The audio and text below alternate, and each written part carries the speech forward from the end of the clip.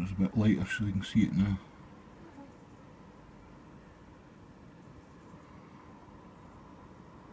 Looking shocking.